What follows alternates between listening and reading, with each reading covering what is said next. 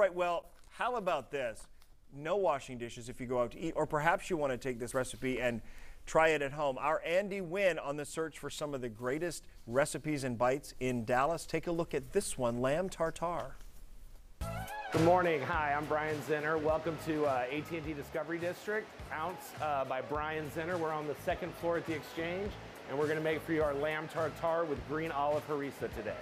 We always start with a cold plate. That way our lamb tartare is nice and cold. We'll be using Niman Ranch lamb, about three ounces. We're to dress it with our green olive harissa, which is green olive, chili, onions, garlic, olive oil, a little bit of lemon and herbs. So green olive, harissa, some finely diced preserved lemon, our fines herbes, which is parsley, tarragon, chive, and dill. And we're gonna add a little olive oil, a little bit of sea salt, and then we're just gonna toss all that.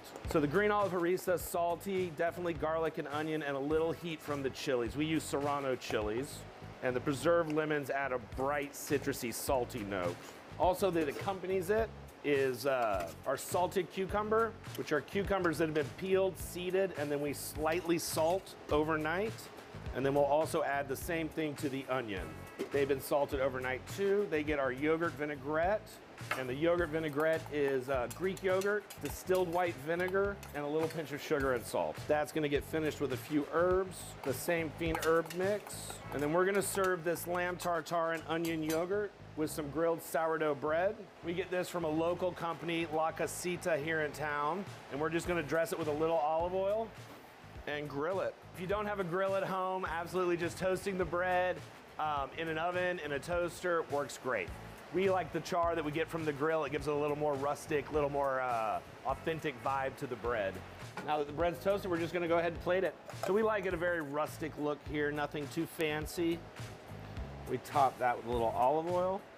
Crushed Marcona almonds, which are a Spanish almond. You could use any almond. We cut the bread in little triangles, but obviously any piece would work, any shape. Lamb tartare at ounce. Yes.